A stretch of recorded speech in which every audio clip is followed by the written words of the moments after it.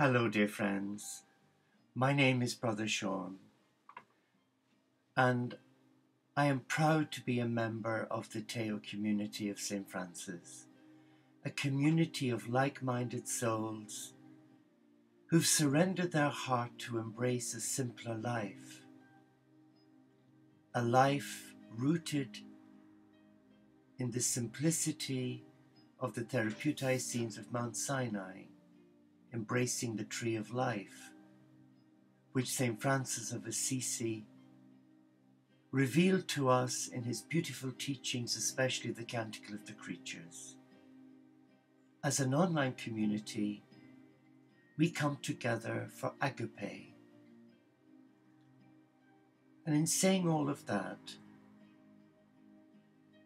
we also embrace a loving Father, Mother, God Supreme through the natural world, the Cathedral of God.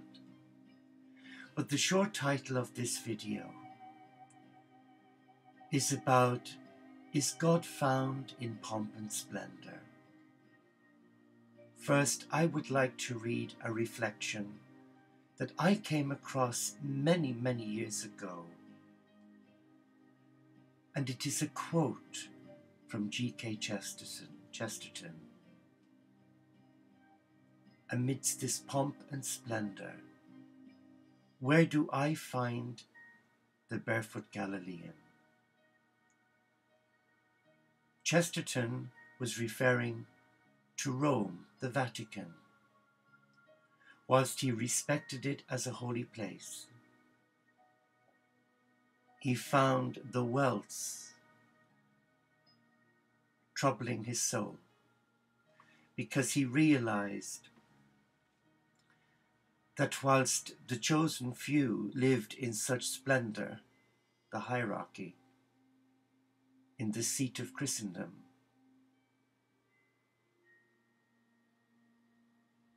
he was troubled in his heart, knowing that many others, also children of God, were living in abject poverty.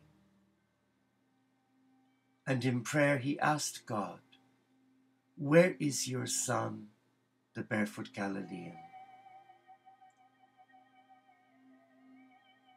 And I would like to just share with you that there is nothing wrong with beauty, with splendor, and with pomp.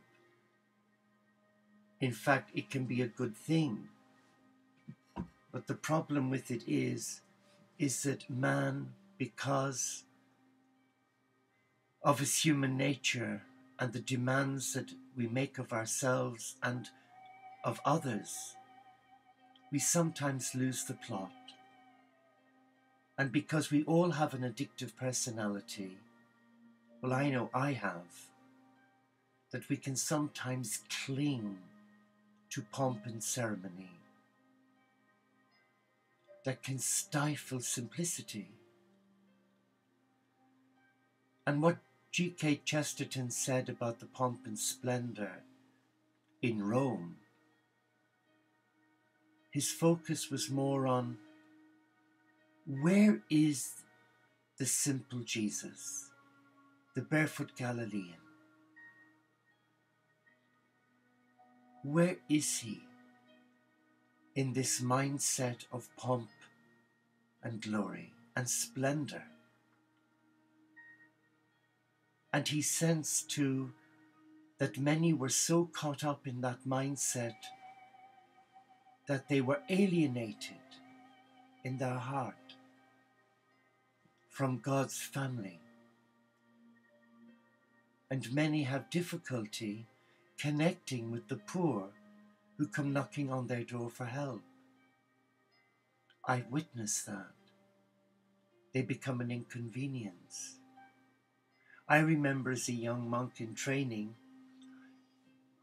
when we were on the rota for the kitchen duties helping dear brother Alphonsus, Lord rest his soul, we were regularly inundated with travellers, those who slept rough. And Alphonsus had a very kind spirit. He always ensured that in the pantry there was sufficient to feed a football team. But we had a superior, a lovely man, very polite, but he had breeding, and he was more turned on by the upper classes. Unlike another superior, Brother Ambrose, who was so down to earth that you wouldn't know he was a superior with such powerful responsibilities.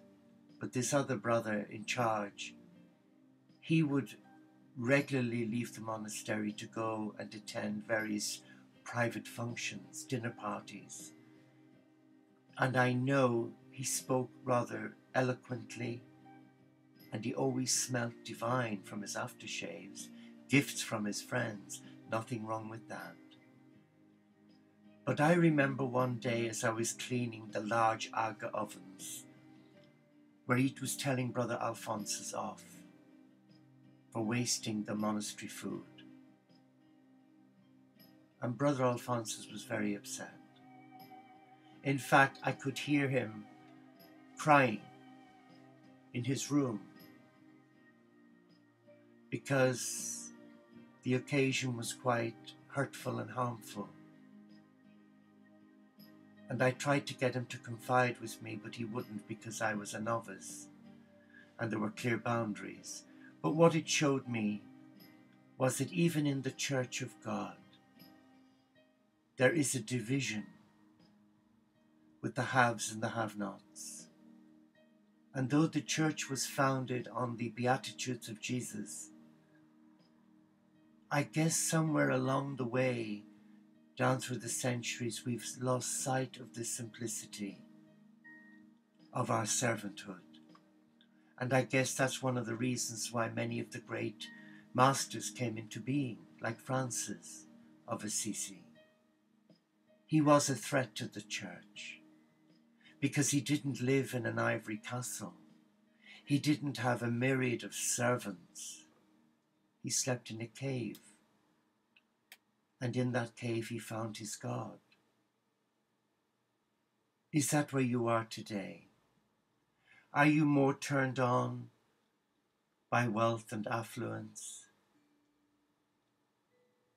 Do you feel you need them in your life? There's nothing wrong with materialism, but there is something wrong when you make it a focus and it preoccupies your sacred space because it clouds your judgment and it does affect your relationship with the Father, Mother, God of abundance. And in the church today, we have many good people who live that simple life where they are detached from materialism. Materialism doesn't own them. They don't wave it in your face. And coming back to the story of the superior who criticized my dear friend, the cook in our monastery, he felt obliged to say nothing, did Alphonsus, in his defense, but he carried on giving food to the poor because he felt that that's what Jesus would do. Now I know he incurred the wrath of the superior Today we need to wake up. Where do I find the barefoot Galilean?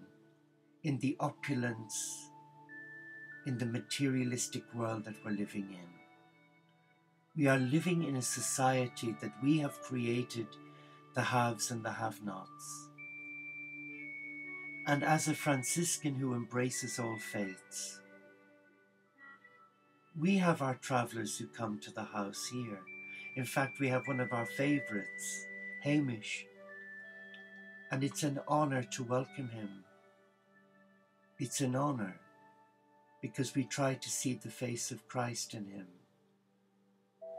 Because we don't know, do we, that sometimes in entertaining a tramp, a traveller, or someone who's lost everything, we actually might be entertaining an angel.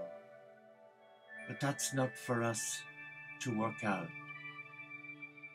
Our duty of care is to try and see the divine, the supreme, in all God's children, rich and poor.